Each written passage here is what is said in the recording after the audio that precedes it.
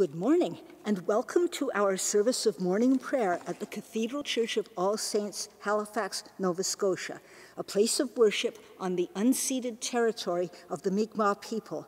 Today is Wednesday, December 7th, 2022. Thank you for joining me this morning. Lord, open thou our lips, and our mouth shall proclaim your praise. O God, make speed to save us. O Lord, make haste to help us. Glory to the Father, and to the Son, and to the Holy Spirit, as it was in the beginning, is now, and will be forever.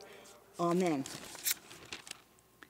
The Lord is our light and our life. O come, let us worship.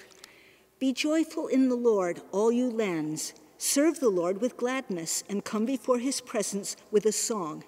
Know this the Lord himself is God.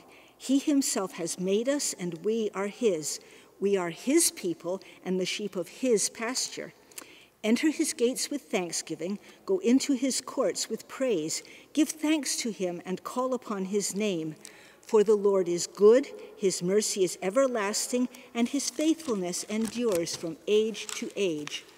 Glory to the Father, and to the Son, and to the Holy Spirit, as it was in the beginning, is now, and will be forever. Amen. The psalm for today is portions of Psalm number 72.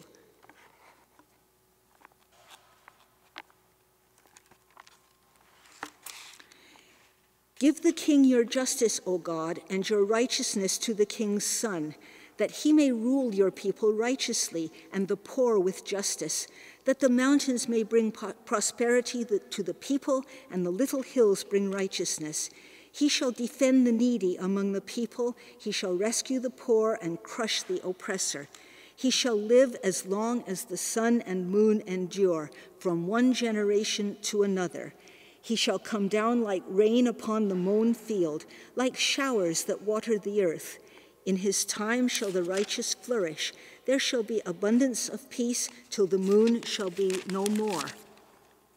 Blessed be the Lord God God of Israel, who alone does wondrous deeds, and blessed be his glorious name forever, and may all the earth be filled with his glory. Amen. Amen. Glory to the Father, and to the Son, and to the Holy Spirit, as it was in the beginning, is now, and will be forever. Amen.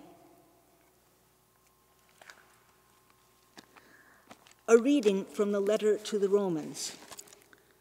Paul writes, For whatever was written in former days was written for our instruction, so that by steadfastness and by the encouragement of the Scriptures we might have hope.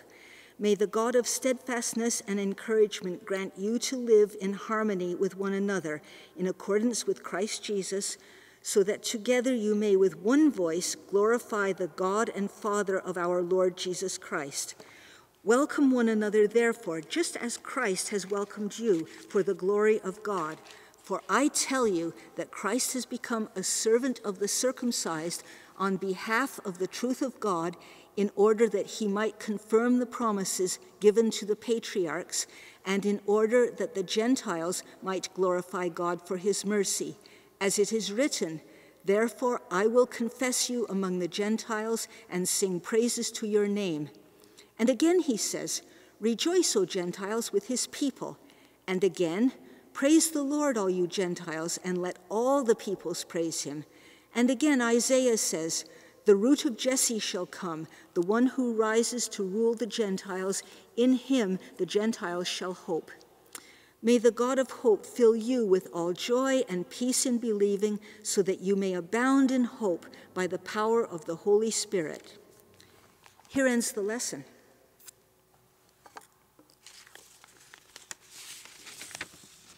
Today's poem is titled Show Me, Dear Christ, and it's one of the holy sonnets, number 18. Show me, dear Christ, thy spouse so bright and clear. What? Is it she that which on the other shore goes richly painted, or which, robbed and tore, laments and mourns in Germany and here? Sleeps she a thousand, then peeps up one year? Is she self truth and errs? Now new, now out war? Doth she and did she and shall she evermore on one, on seven, or on no hill appear? Dwells she with us, or like adventuring knights, first travel we to seek and then make love? Betray, kind husband, thy spouse to our sights, and let mine amorous soul court thy mild dove, who is most true and pleasing to thee then, when she's embraced and open to most men.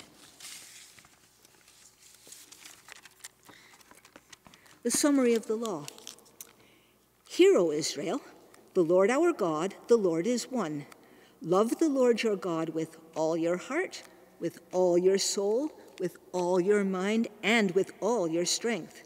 This is the first and the great commandment. The second is like it love your neighbor as yourself. There is no commandment greater than these.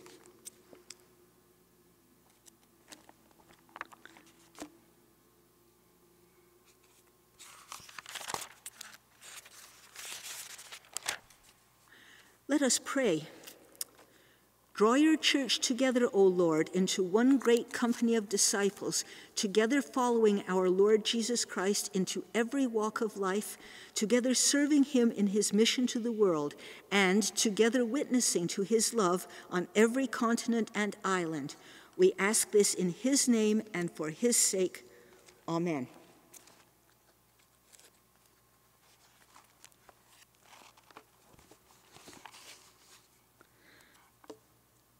Almighty God, who sent your servant John the Baptist to prepare your people to welcome the Messiah, inspire us, the ministers and stewards of your truth, to turn our disobedient hearts to you, that when the Christ shall come again to be our judge, we may stand with confidence before his glory, who is alive and reigns with you and the Holy Spirit, one God, now and forever.